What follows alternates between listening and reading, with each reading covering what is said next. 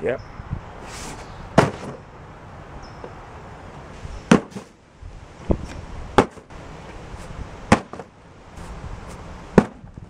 We've done our drop tests.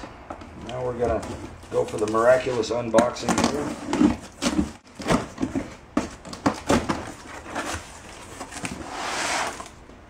All right, looks like the plastic's a little bit chewed up in here, but cracked in a couple of places. There's the unit.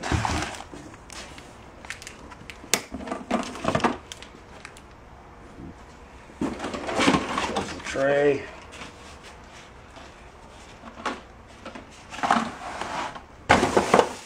There's the brush. Okay, so looking at the parts, that would be a really rough day in the shipping world for it to get dropped that many times.